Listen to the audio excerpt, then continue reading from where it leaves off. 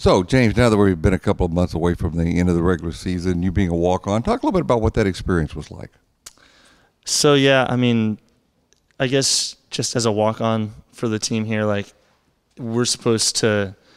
I mean, we're not really treated any differently than the scholarship players. I mean, everyone has an equal chance to play. It's, I mean, that's just how Coach Jank does things. But as far as my experience has gone, it's definitely been more of uh, doing practice, doing being being there for practice, being like a, a tool to use in different scenarios in practice. Especially last year when we had only ten guys.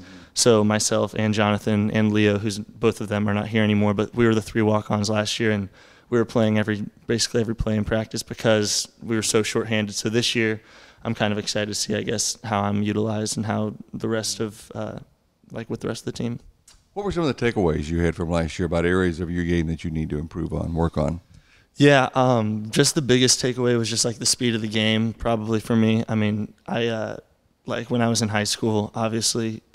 The, the speed of the game is just so much slower. Things go slower. You have the ball in your hands. You have way, way more time to make decisions. But in college, it's it's got to be like that time has to be cut in half basically. And so that was just the biggest thing for me is just playing over the summer, like playing pickup and then also just working on my athleticism and getting stronger too, just to match up with some of these older guys.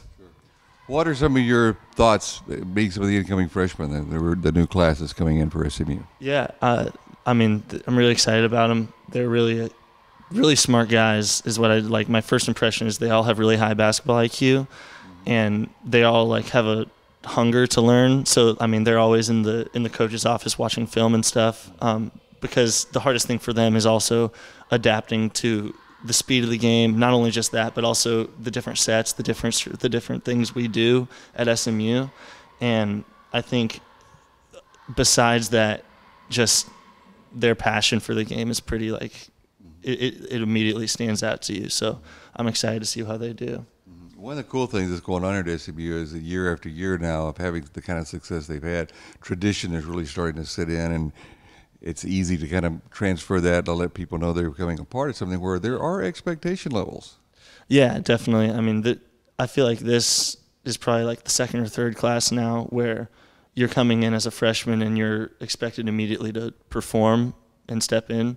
Um, because I mean, if you think about it, like last year, Deshaun had to play lots of minutes. This year, we're gonna have to have freshmen play a lot of minutes, and there are high expectations, obviously, especially coming off of a 30-win season, you know, highest in school history.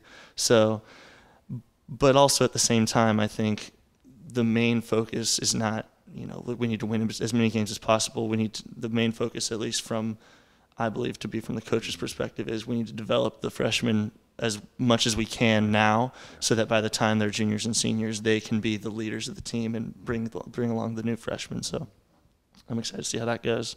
Okay, James. Best of luck. Have a great season. All right. Thank you.